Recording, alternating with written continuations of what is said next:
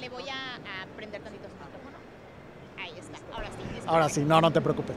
Eh, pues estamos generando esta vinculación específicamente en el sector aeroespacial.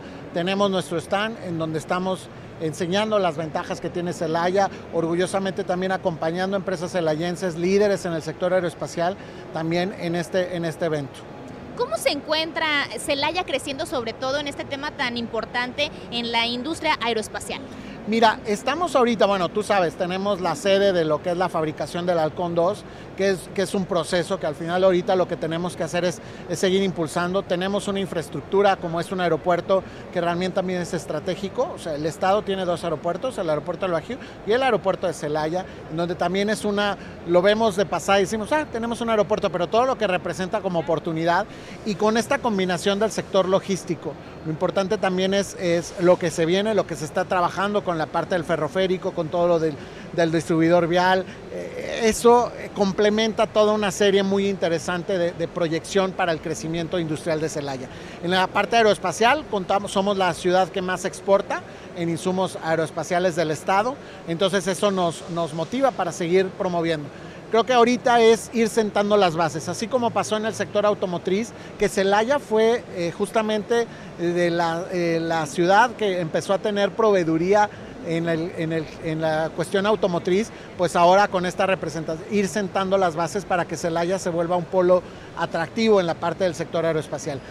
Se complementa muy bien con esta, esta, esta cuestión eh, industrial esta diversidad, porque tenemos metalmecánica, tenemos agronegocios, tenemos este, electrodomésticos, o sea, toda esta, esta diversidad industrial se vuelve una ventaja competitiva muy interesante para Celaya, porque en el mismo lugar podemos ser distribuidores y podemos ser proveedores de esta nueva industria. Y bueno, sobre todo también estamos en este proyecto que tenemos en puerta tan importante, el Hub de la competitividad en el municipio. Mira, eso viene complementando. Al final, el Hub es un, es un vinculador.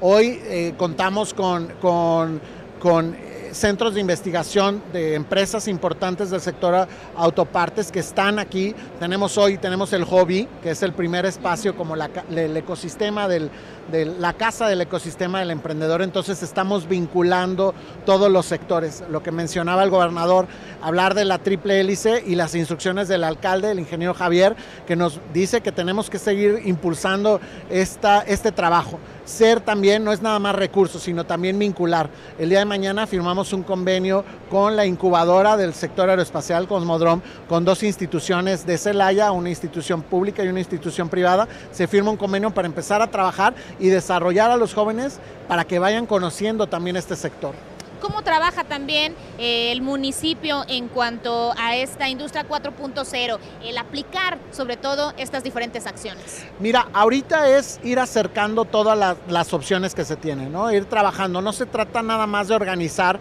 por sí solo, pero sí también eh, formar alianzas con el clúster de tecnologías de la información, formar alianzas con, con, con con instituciones especializadas en esto del 4.0, con, con, desarrolladores de programas, para empezar a trabajar con esto. Es concientizar.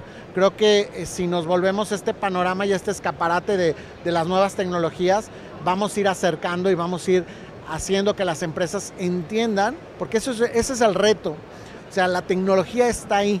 Es cómo lo puedo yo empezar a aplicar dentro de mi mismo desarrollo. Tenemos capacitaciones eh, en cuestión de programación, en esquemas muy, muy nuevos como Blender, como marcas reconocidas que nos permiten también empezar a, a ayudar a las empresas a que crezcan y, y, ayudar a que tengan ya esa, esa, ese conocimiento y llevarlos de la mano para la parte de, la, de las certificaciones que también son procesos muy importantes. Así es, ya lo decía usted, un orgullo que el día de hoy en esta feria de la industria más importante del mundo esté un pabellón de Celaya. Es, eh, es, es un escaparate, tenemos que seguir vendiendo Celaya no es, no es el hecho de estar y ten, estar ahí presente, sino también ir generando estas citas, eh, eh, ir generando estos vínculos. El día de ayer tuvimos la visita de 10 empresas canadienses que estaban buscando eh, pues todas estas conexiones, ¿no? Vender, te compro, nuevos enlaces, este networking. Y bueno, pues tuvimos un impacto directo a cerca más de 20 empresas de Celaya que tuvieron la oportunidad de tener este contacto con estas 10 empresas de Canadá que, que, permiten hacer estos, estos nuevos vínculos. Ahora sí que a título personal, ¿cómo cierra la dirección este 2023?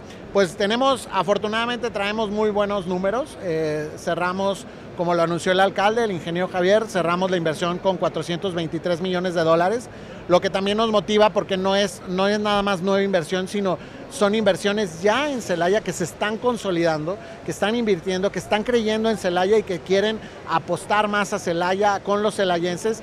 Y el comentario es que no hay ahorita otro lugar más interesante que venir a invertir que en Celaya. Eh, tenemos proyectos no es nada más en el momento, sino con los proyectos que vienen es la proyección hacia el futuro, porque realmente aprovechar al máximo el nearshoring, todos los elementos que están ahí se vuelven un elemento que nos va a ayudar a, poder posicionar y a seguir posicionando. En cuestión de empleo, pues somos eh, realmente somos el municipio que más rápido se recuperó después de la crisis de la pandemia. Retos también importantes en la mano de obra. Este, tenemos también que cubrir, ya hay bastante demanda este, y entonces tenemos que vincular la oferta con la demanda, retos de empresas que quieren, tienen eh, la meta de contratar de mil a mil quinientas personas de aquí a diciembre o al próximo año y eso también es, es algo que tenemos que trabajar muy de la mano como les he estado diciendo, la pregunta obligada de estos stands que ya tuvo la oportunidad de ir visitando poco a poco, ¿qué ha llamado su atención?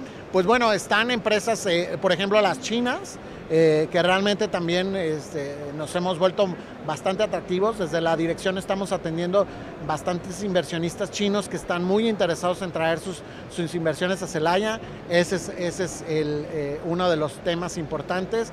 La parte de la vinculación que tenemos de, de poder atender eh, empresas celayenses que están viniendo al encuentro de negocios en el sector aeroespacial, que no necesariamente se dedican al sector aeroespacial, pero que están muy interesadas y que nada más es ese, es ese brinco a la cuestión del sector aeroespacial. Tenemos una representación dentro de los concursos, Celaya está participando con un con un desarrollo que de Devil, que creo que ya estuvo por aquí, este, o tienen ya alguna grabación, que está participando como finalista de proyectos innovadores.